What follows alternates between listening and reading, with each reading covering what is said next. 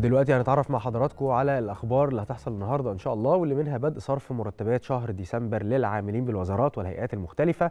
كمان النهارده الحكومة المصرية بتشارك دولة تنزانيا الاحتفال ببدء الملء الأول لخزان مياه مشروع سد ومحطة جوليوس بالإضافة إلى إن العاصمة الإدارية هتستضيف بطولة الجمهورية للسلاح وأخبار أخرى هنعرفها من خلال هذا التقرير.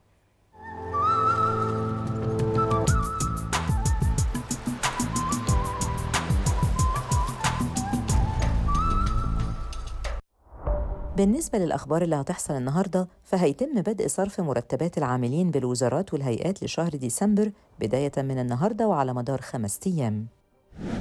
النهاردة هيبدأ الملء الأول لخزان مياه مشروع سد ومحطة جوليوس نيريري الكهرومائية على نهر روفيجي بتنزانيا.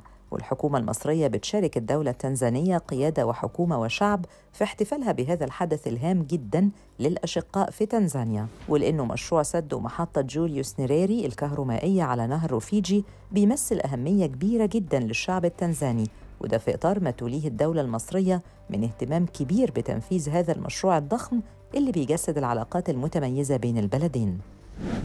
النهارده هتنطلق بطولة الجمهورية للسلاح تحت 20 سنة بصالة العاصمة الإدارية الجديدة واللي هتستمر على مدار ثلاثة أيام. لعشاق الكرة الإنجليزية موعدهم النهاردة مع مباراة دور ال 16 لكأس الرابطة الإنجليزية واللي هتجمع ما بين مانشستر سيتي وليفربول الساعة 10 بالليل.